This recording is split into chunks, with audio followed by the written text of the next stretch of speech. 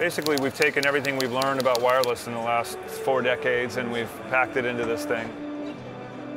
You know, there's more and more desire for uh, high channel counts, superb audio quality. There's more and more audio over IP type uh, systems going on, so it has that as well. We didn't want to abandon our existing user base. You know, so many new systems come along and it's like a break from the past, you know, and it's new technology that's wonderful, better performance or whatever features you can get in there but it doesn't it's not compatible with anything that came before.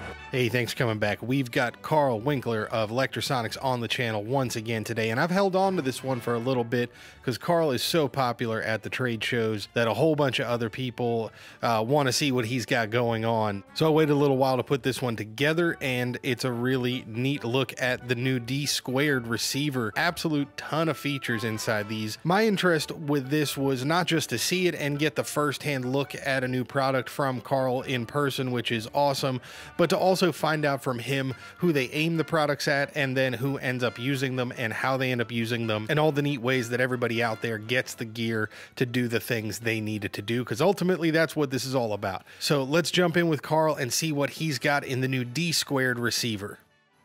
When digital hybrid came out 15 years ago, the idea was, hey, there's lots of 200 series analog dual band companded systems out there. So we thought digital hybrid gives us a way to accommodate those folks and move forward. So we've done that again. This is a digital receiver, but it has digital hybrid compatibility mode. So every transmitter we've made in the last 15 years can still be used with this system. To your question about who it's aimed at, really it's aimed at a wide variety of users. I mean, being a rack unit, you could argue that, well, it's, it's probably not destined to be a camera mount receiver, okay? That eliminates that. But from there, I see bag users uh, using this system. We've seen that already on social media. People are putting these things in bags.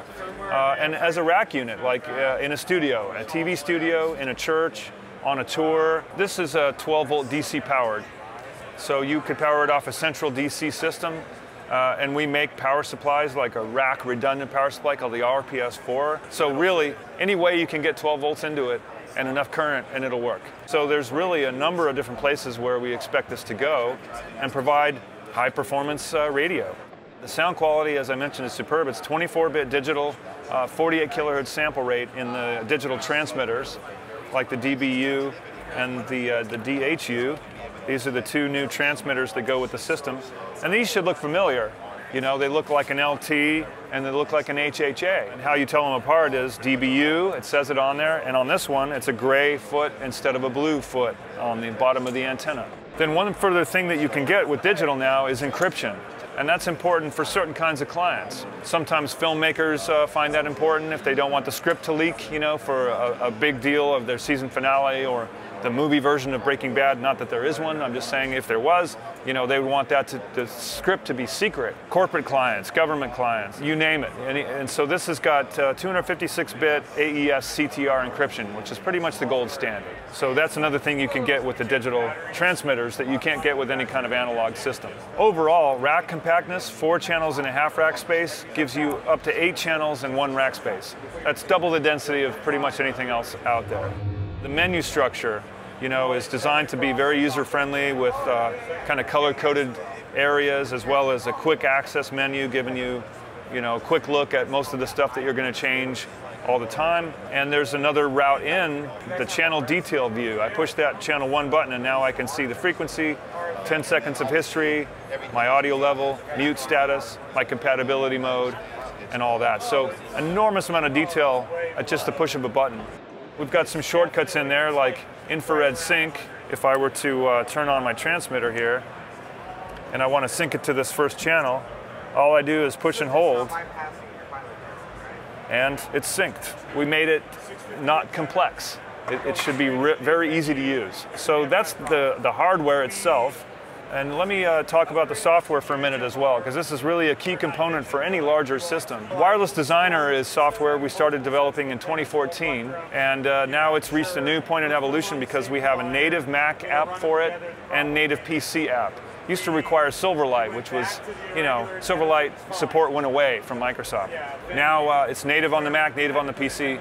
This software, what it does is it'll do a local scan using your receivers, and then you can do your frequency coordination where uh, you're picking your channels based on a mathematic calculation. For instance, here we see a bunch of conflicts based on other things going on in the room as well as third order intermod.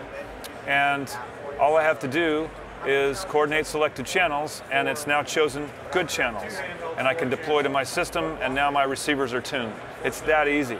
Now from there, we're going to monitor all of our channels on this, uh, this screen here. And this is scalable, you know, so I can fit all my channels on a single screen. This shows you a stack, right? So in this session, we have a DSQD and a DR, and that's our previous generation encrypted digital. We could have the M2 system, we could have Venue 2s, all in this stack, all monitoring all channels at once. So coordinate all your frequencies together with your inners, your IFBs, your wireless mics. That's what Wireless Designer is. Very, very powerful uh, tool for setting up and monitoring your wireless system. So that's wh why it's exciting. That's why we're here, and we're getting a lot of traffic uh, to take a look at this system.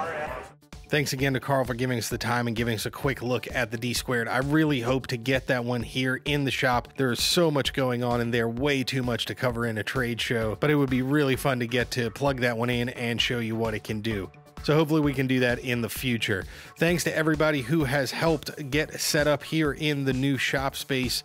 Uh, the Founders Wall is coming along nicely, and if you want to get involved on that and help do things like treat this space acoustically, which I'm sure you can hear it desperately needs, there are links for that down in the description below and on the homepage, dcsoundop.com. And thanks so much to Lectrosonics who does support this channel and provides the little PDR recorders that I use to record normally and just as soon as we do get this space acoustically treated, I'll be back to using an Omni lavalier microphone. But for right now, a directional mic seems to be the best choice because there is no treatment almost at all. But the founders whose names will be going up on this wall in the next couple of days have contributed. It's amazing to see so many people reach out and support what I'm doing here and to help get things set up a little nicer so we can all have some better content and make it easier and faster to make more.